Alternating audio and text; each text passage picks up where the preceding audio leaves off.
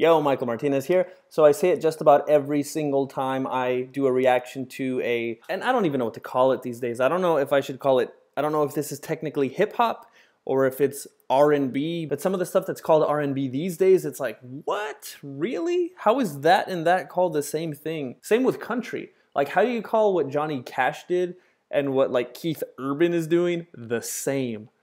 Bruh. Anyway, um, I always mention when I do reactions to hip hop videos that I can't stand hip hop and I think it's horrible and it's just bad in every way and there's nothing good about it. So why are you doing the reaction? I don't know, it was trending. And like I said before regarding Nicki Minaj, even though I think the lyrical content and like every other single thing about hip hop is terrible and negative and a bad influence, I can listen to Nicki Minaj's voice all day. Same thing with Iggy Azalea. I might like hers a little more. The song is called Mo Bounce.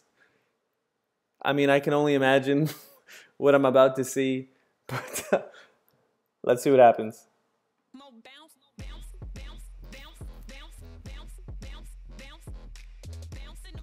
I'm gonna try to make it to the end of the video.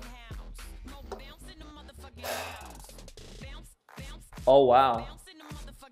Is she doing like, is this like Nicki Minaj inspired where she's rhyming the same words for like an entire song? that would be very interesting.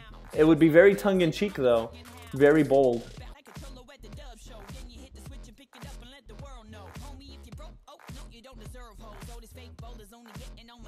She said fake boulders. Is that a Nicki Minaj reference?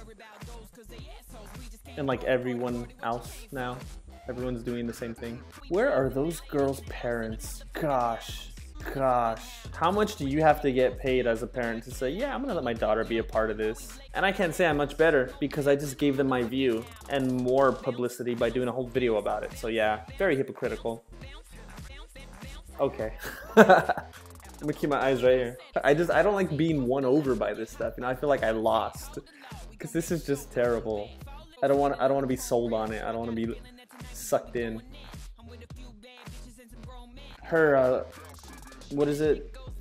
Her audio syncing is so off. It's distracting. Man, is this real? Like, this is totally an act, right? Like, my mind is going to the completely different other side of the universe right now, but I'm thinking of, like, Conor McGregor and how he acts like such a jerk and a crazy, annoying, psychopathic person just to give press to a fight and then afterwards he's like i respect you man. You're cool. Good job. I mean do people live like this? Like did she go home and just like do that in front of the in front of the mirror and like or is she like yeah that's how i make my money. I'm not proud of it. My parents aren't proud of it. I'm a good person. I read. Or is this like 24 7 it's like it's it makes me feel ugly inside like ah.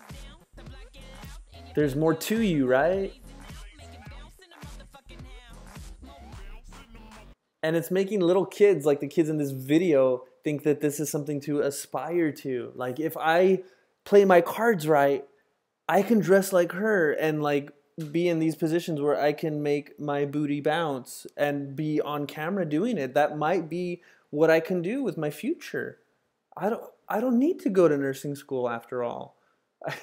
I just went on about this for like 30 minutes that the world will never see and I'm just gonna cut it off now. Well, well I did cut it off because um, it, it, it's not worth it. so I'm just gonna stop right here.